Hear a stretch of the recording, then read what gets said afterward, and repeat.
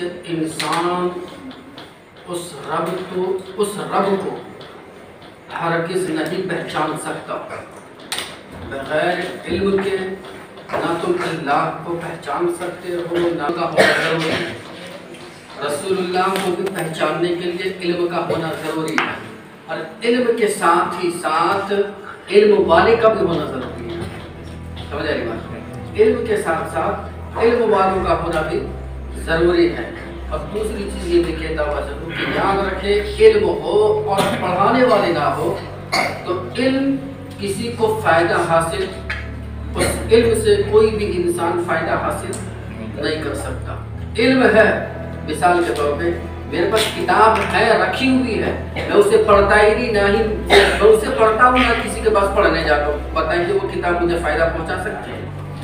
आगे नहीं पहुँचा सकती वो किताब वैसे के वैसे ही धरी की धरी रह जाएगी। लेकिन वो किताब मुझे फ़ायदा कब पहुंचाएगी? जब उस किताब, जब मुझे पढ़ने उसको नहीं आता तो उस किताब को लेकर किसी न किसी के पास बैठना पड़ता है किसी न किसी के पास जाना पड़ेगा मुझे। जब तक मैं जाऊँगा नहीं, जब तक मैं किसी के पास बैठूँगा नहीं, जब तक मैं किसी से पूछूँगा नहीं, तब तक कि वो इल्म मुझे फ़ायदा नहीं पहुँचा सकता। वो इल्म कभी किसी को भी फ़ायदा नहीं पहुँचा सकता। और दूसरी चीज़ अगर इल्म वाले ना होते, इल्म वाले अगर ना होते, मैं तो अल्लाह का शुक्र अदा करता हूँ कि यहाँ पर दिखाना कि हमारे यहाँ अल्लाह के फजल से इल्म भी है और इल्म वाले भी हैं। इल्म भी है और इल्म वाले भी है तो अल्लाह का शुक्र अदा करना चाहिए कि इल्म भी है अमर भी है और इल्म वाले भी है और अल्लाह का ये